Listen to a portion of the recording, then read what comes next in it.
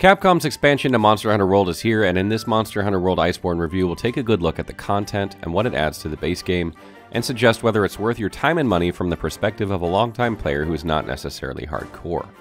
Iceborne is an expansion focused on endgame and master rank difficulty, meaning it's somewhat scaling up the ante from the DLC monsters and the addition of tempered and arc tempered Elder Dragons.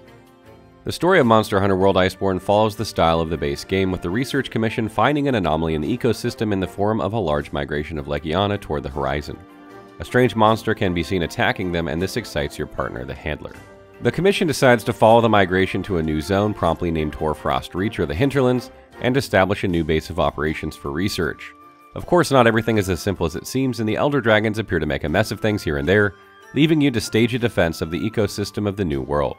Monster Hunter games have never been about the story, and it's a welcome change that some effort has been put into creating a narrative that ties together more of the tidbits of lore of the game and gives players a compelling reason to push forward and take on even harder foes.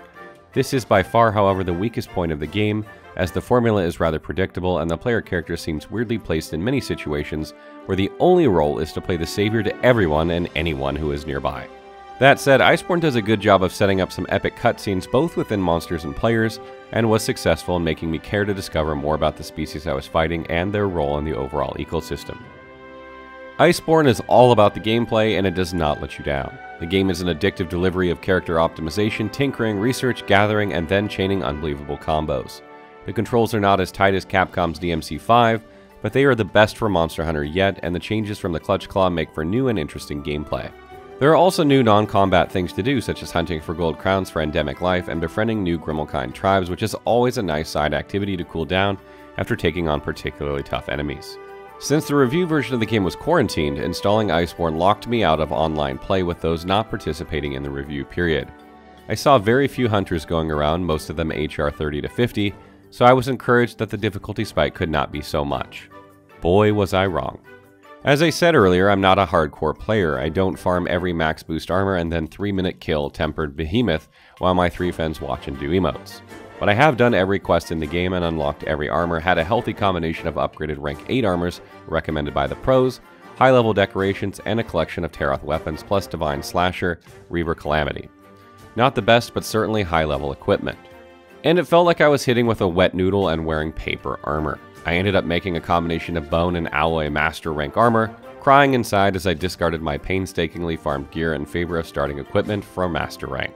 I soon discovered that I had not been good enough at leveling up my Palicos gadgets and was happy to find that they can be improved further than before, making my feline companion an invaluable asset in combat. Flashy Cage replaced my ever used Coral Orchestra, I also paid more attention to summoning Grimalkyne tribes to raise my Tailrider Unity, which was a lot of fun and yielded unexpected results in the form of a new trade mechanism and treasure hunts left behind that lead you to great riches. I had to get done to make the review in time, but the game just pulls you to explore, research, and dwell deeper into each little secret that hides in completely unexpected places. This compulsion to keep going, learn more, and get better is the main draw Monster Hunter and Monster Hunter World Iceborne delivers for every player, giving challenging content but making an entry point for even those who are not fully prepared to take on Master rank. The Clutch Claw is a powerful new tool that I found extremely useful to fill up my sword spirit gauge. Of course, it took time to learn, as you soon discover that enraged monsters will hurt you when you attempt to use it, and you get no frames while on the monster, so if it charges, you'll take the damage and be knocked off.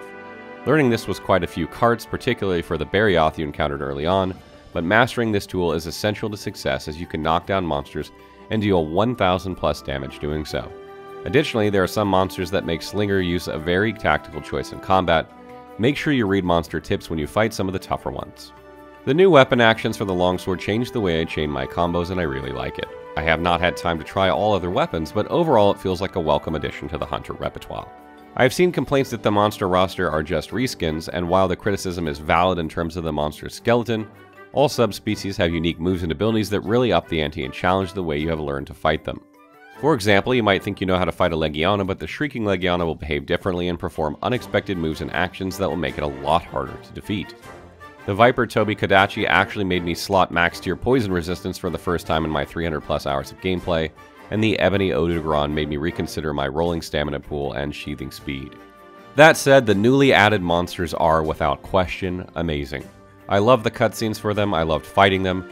Fan hated Piscine Wyverns aside, I enjoyed all other fights and their mechanics particularly an Elder Dragon later on that not only looks outstanding, but has a unique moveset that will challenge your understanding of the battleground. Bright Moss is your friend. After completing a first pass of the expansion, I organized some multiplayer with a much less geared HR-16 player and got him set with the starting gear by simply farming expeditions, which is a great choice by Capcom as new players might have trouble finding parties for the old endgame content, and giving a master rank stepping stone is the right thing to do. From here, we set on to take out the expansion.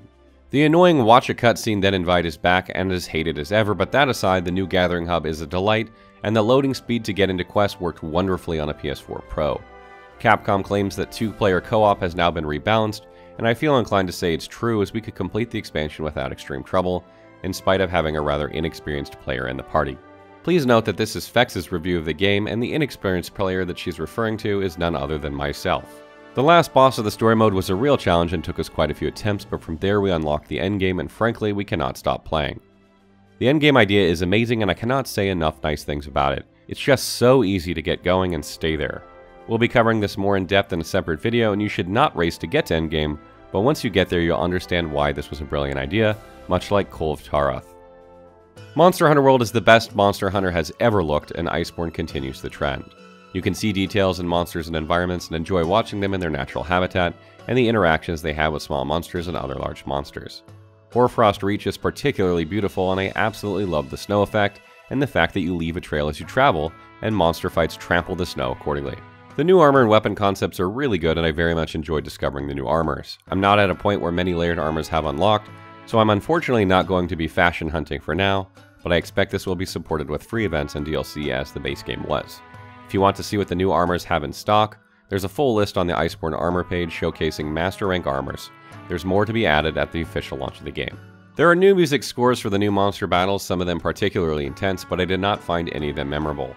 All in all, the music score for Monster Hunter World and Monster Hunter World Iceborne are of similar, just fine quality. Nothing to complain of, nothing to praise either. Final thoughts. Monster Hunter World Iceborne is more of the same, and that is a wonderful thing. 14 million players joined the commission with World, and Iceborne will likely see most of them return to try their skill against ferocious new monsters and make new feline friends. If you have played the base game and liked it, you will love Iceborne and Endgame will enthrall you. If you are new to the game in general, you'll find your progression to Master Rank is not impeded by a high rank farm wall, and will soon be able to join the endgame action as well. So everyone asks, is the expansion worth $39.99? It's very simple. Did you like the base game? Then yes. Did you keep playing after finishing, doing all the DLC? Then hell yes. Did you wish your party could just get lost in endless hunts and keep whacking at things until you had to start relying on your palicos to set traps for you because you ran out of mats for them long ago and but didn't want to go back? Well then, the real Monster Hunter starts here.